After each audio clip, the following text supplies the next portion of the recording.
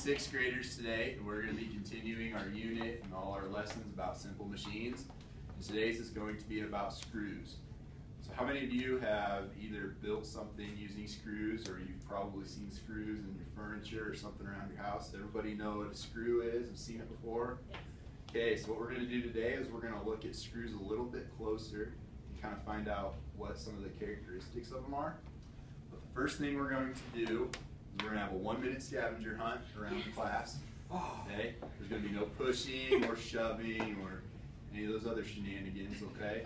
We're going to spread out and you're going to find as many screws as you can. We're not going to take anything apart and actually like have the screws, but we're just going to find them and that way we'll get a good idea of all the different types of screws that there are, okay? So I will give you one minute starting in three, two, one, go. Yeah, one. Oh, Kyle, you said no pushing. Screw. Two. Three. Four. There's like two, three, four. You just stay in the classroom, Morgan. I'm not, I'm not in the classroom. Can you count multiples like that? No, it's multiple screws. Eight, eight, eight, eight. Eight, Oh, there's a lot. six, Oh, there's one right here. In the outline. I that one already. Well. 17, 18, 19, 20, 21, 22, 23, 18, 24, 17, 18, 19. 101. 62 trillion. Seven million. All right, let's have everyone start making their way back to their chairs. Balloon on me. I'm not moving on that. All right. Did you guys find a lot of screws just here in this classroom? How many, how many did you find? Uh, I don't know if I can count that high, but I'm guessing around 42. A whole bunch, right? Anybody else? How many did? I bet I got 50. I had 68 before somebody put the balloon on me. All right, so so we can find a lot of screws just even in this in this room, let alone the whole building, or if we went outside. So there's a lot of examples of screws that we use. What were some of the things that you noticed? Like how were they made? What did they look like? Have little ridges on. Had little ridges on them. Good. What else did? Yes. Sorry. uh, some are big and some are small. Right. So they come in different sizes. Why do you think that there's screws of different sizes? Why aren't they all just this big, or why aren't they all this big? Why do they come in different sizes? Could it be because that there are certain screws that are stronger than others? Right.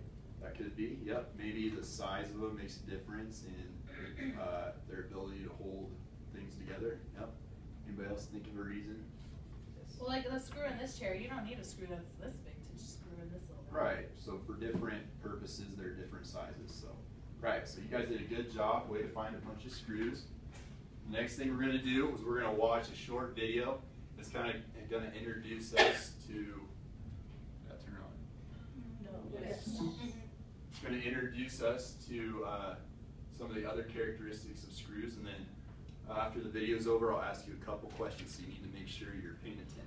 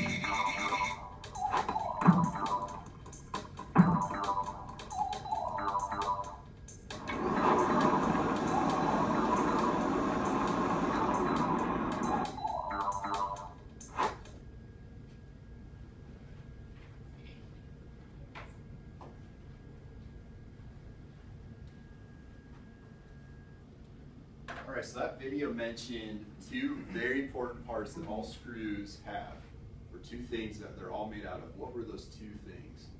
Anyone know? Anyone remember? Threads. There's threads. What?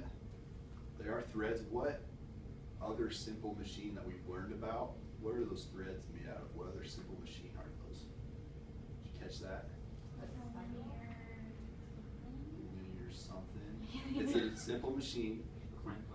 Inclined plane, right. That is what the threads or the like the spiral of the screw is made out of, okay? And what other part of the screw is there?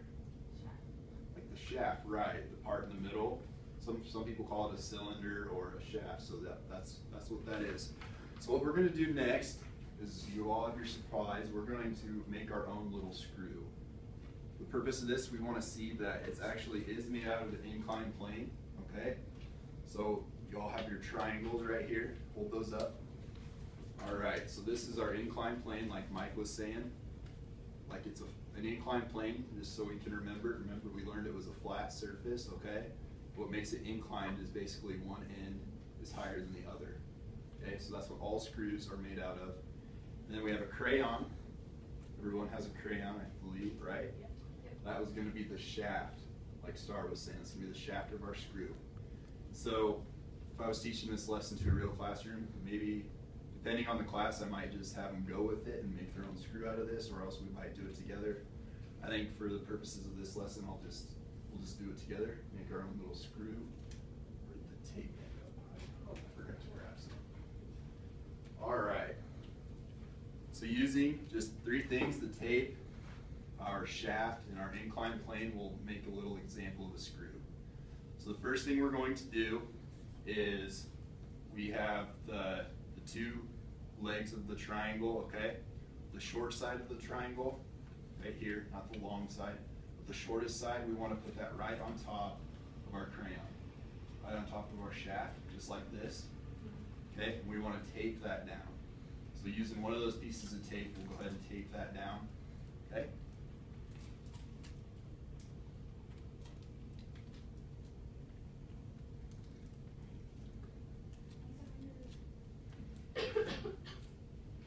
All right, has everybody down?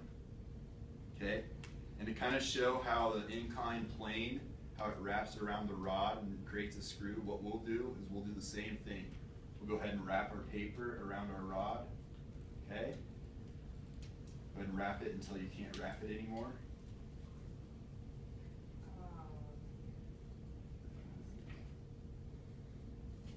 Has everybody got that? Okay. And once you have that all wrapped, you can take your other piece of tape and take the other side of your inclined plane down.